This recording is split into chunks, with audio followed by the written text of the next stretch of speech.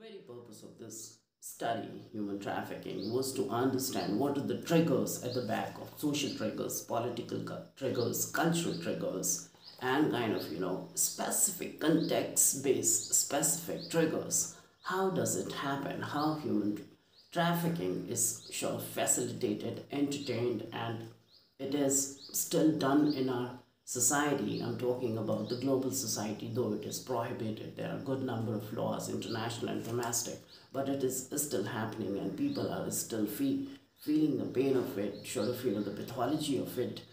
It is being felt, it is being experienced.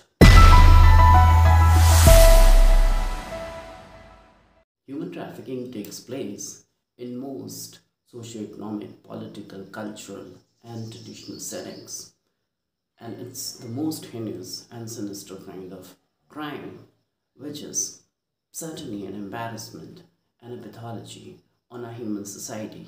You're watching RESO, and this is Surender again. This narration and presentation is based on one of my writing recently published in 2022 titled Beyond the Inclusive Possibility Understanding Human Trafficking in the unexplored directions in the Indian context on human trafficking. And I just want to explain you what are the possible factors, what are the reasons, typology, definition, few graphs about human trafficking, specifically in the Indian context. I'll share you the link also and I will also share some of my details. What was this publication all about and how I of prepared it and what kind of what types of what types of highlighted areas and thoughts I have presented and included in this research paper. I'm just going to read the abstract of this research paper. So just have patience and just watch me read that. Research objective is to study human trafficking and its typology and various socio-cultural, political, economic triggers responsible for the sinister social reality and also analyze gender and age-based victimization, also simultaneously examine the international and domestic laws to combat human trafficking and its implementable capacities. The proposed examination was an exploratory, qualitative, sample-based survey study. Introduction, I'm just to read. Please watch me here. Human trafficking takes place in almost all social, political, cultural, economic, and legal contexts in recent years, human trafficking has been identified as a form of modern slavery, as a threat to human security, as one of the greatest human rights challenges of our time. In today's changing global scenario, human trafficking is the new slave trade. This analogy implies that people who are trafficked live under conditions equal to those experienced by slaves in former times. Human trafficking has thus become an important issue of concern transcending borders and affecting countries all over the world, human trafficking is considered to be the world to be the third largest source of profit for organized crime. The points we need to understand there are political, cultural, and economic and social triggers, and it's a form of modern slavery today. New slave trade is also called human trafficking, new slave trade. So we need to understand the magnitude and intensity of this human pathology and social pathology. It's a crime and there are tremendous amount of crimogenetic factors that have been existing in our society, that are being promoted in our society, and they cause human trafficking in a very tremendous way sometimes. And most of those traffickings go unnoticed because of sloppy implementation of laws, domestic, international, and sometimes political slumber, administrative slumber, and the slumber of those law-maintaining agencies which are responsible to sort of combat and hunt human trafficking process. Research also has found out that human trafficking is most of the times migration went terribly wrong. Migration gone terribly wrong.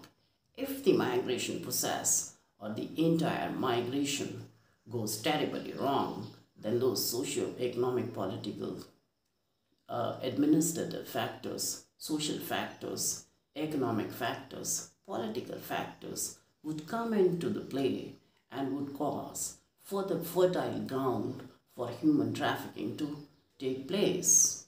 And once again, I just want to say it's human trafficking is migration terribly gone wrong. The, the study has also found out human trafficking cases is IPC Indian Penal Code. I have also mentioned in my research paper 2022 IPC crimes like number of states and their hierarchy in what magnitude the trafficking takes place. So have a watch of that also. It's quite important for us to understand the definition perspective of human trafficking, what it is. By doing that, we will understand the magnitude, the sort of, you know, the entire gamut of human trafficking and we would also explore the different dimensions and different factors responsible what kind of crimogenetic trigger is at the back of it. So i would just read it. Please watch. Definition and epistemological interpretation of human trafficking in persons is the recruitment transportation transfer harboring or receipts of persons by means of threat or use of force and other forms of coercion or abduction, of fraud, of deception, of abuse of power, or subtle inducement that take advantage of an individual's vulnerability or the use of force or violence for the purpose of exploitation like prostitution, servitude, forced labors, or services including begging, trade in organs, marriage, adoption, and child soldiering. Whereas in Indian context, special scaffolding support is there providing legal mechanisms such as like there are a good number like Goa Children Act is also there then ITPA is there uh, which is like Immoral Trafficking Prevention Act 1956 I'm just going to read that out.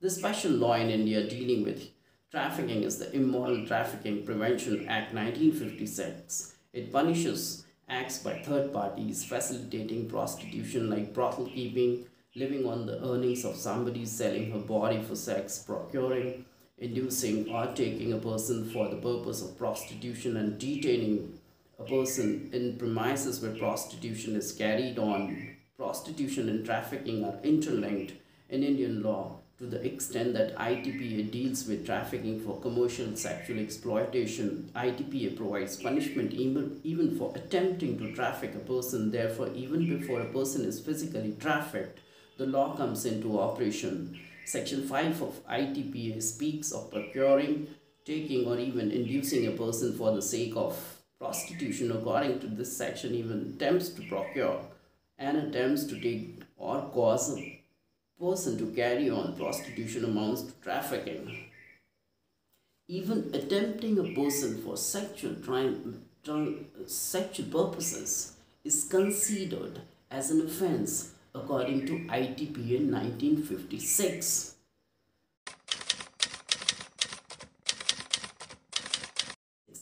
In human trafficking, we must understand the entire process such as like recruitment, transportation, transfer, harboring, or receipt of a person.